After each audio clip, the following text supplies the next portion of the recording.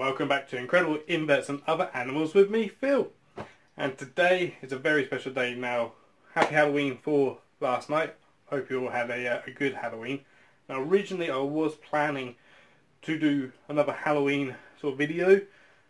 So, um, but today is actually kind of a special day now. So the 1st of November, this is the first ever World Stick Insect Day.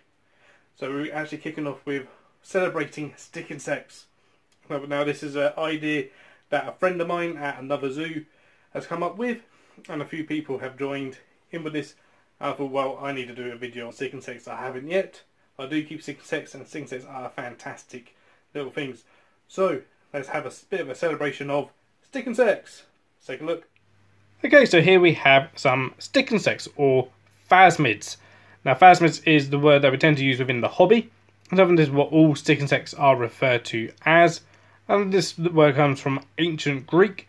Essentially translates as phantom or apparition or ghost. So they're like the ghosts of the forest or the phantoms of the forest because the idea is that you can't see them. Their camouflage is so good, so great that they look like foliage. They look like sticks, but they're not, they're animals. And there's almost 3,000 species of stick insect that we currently know of to science and as many of those are now kept and bred in captivity, and a lot are kept as pets. Now, because there's around 3,000 species of stick insect, obviously they come in many shapes, sizes, and colours. Some of them are green, some of them are brown, like these guys here, and these ones, these fulvums, actually have orange wings and can fly really well. Not all species of stick insect can fly, but some can. They also eat various leaves. So a lot of species will eat things like bramble and some also privet. So these guys here, the fulvums, eat privet and some only eat privet. Uh, but a lot will eat a wide variety of leaves. So for the most part, most stick insects are fairly easy to cater for in terms of food. So a lot of it is free of charge that we just have to go out looking for it and customing it ourselves, making sure that we collect from places of no pollution, so not next to, to roadsides. So, and a lot of them will do fairly well in a warm room. So as long as it doesn't get too cold, sort of below sort of 18 degrees, as long as it's above that, around 20 to 22 is great. For most species, and most of the commonly kept species, absolutely perfect for them. And a lot of species out there are very easy to keep and breed. Now the lifespan is not long for a lot of species, and in fact, now, a lot of species are not very long lived most species that we keep in captivity only live for around a year. And in that time, they'll hatch out, they'll grow to adulthood, and they will reproduce. And a lot of them reproduce in various, various ways. One way is parthenogenesis, so cloning themselves. So that's with a female without a male, and some will mate with a male to reproduce. And there's even some, like these guys here, the Macleay spectre, that can almost choose. So they can mate with a male. If they don't mate with a male, they will reproduce parthenogenically. So this is one survival technique that stick insects have. And it can be quite successful, even to the point that there's some species where males do not exist anymore. It's all parthenogenesis. Now, for most species of stick insect, their defense is their camouflage. So they blend into the foliage, to the, the twigs, the sticks, even sometimes the leaves, and so and they rely on that. But there are some species that have various ways of defending themselves. Other than that, some in terms of with spines on their legs. So they'll perhaps uh, do a threat display where they'll rear up their back legs, and if anything gets in between them, they will scissor kick, and that can really, really hurt.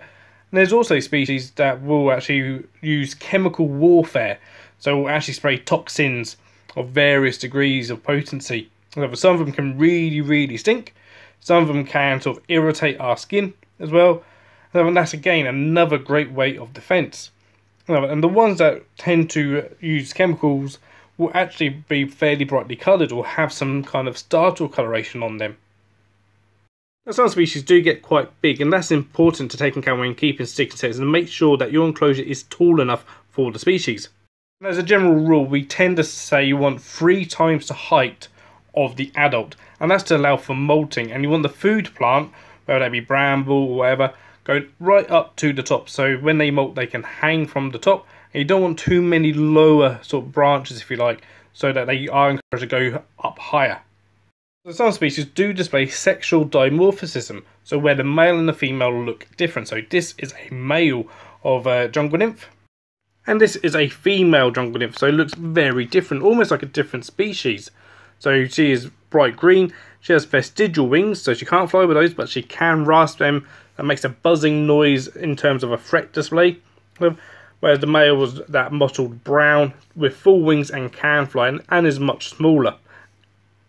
And here we have an example of a species that uses chemical warfare, so we sprays toxins. This is the Black Beauty stick insect. This is only a nymph, it's not so it's not fully grown yet at all.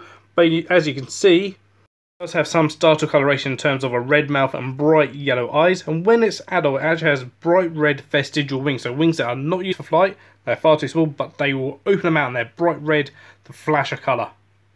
Okay, well, I hope you enjoyed that look at the world of stick insects, and that was just a few species uh, that I keep both privately and also within the zoo. So, stick insects are fantastic, hopefully you'll agree with me there. They're one of the first exotic animals that I ever kept and bred as a child, so and it's one of the animals that a lot of people get their introduction into keeping exotics is stick insects quite often. They are very popular, they've always been popular and continue to get more and more popular to this day. And there's a whole host of species available nowadays that are bred in captivity. So that is fantastic. So on that note, if you do keep any stick insects, let me know. Put that down in the comments. So if not, are you looking to get stick insects? They are, I say, they're a fantastic group of animals to keep. And if you did enjoy this video, please do give it a thumbs up.